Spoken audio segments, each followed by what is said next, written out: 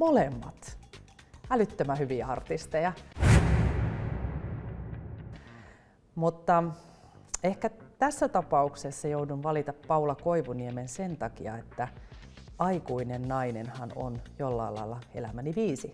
Sitä olen laulanut karaokeessa monta kertaa ja, ja muuten Jean S:n solistina Tampereella, joka on varmaan mun musiikkiurani jonkinlainen kohokohta.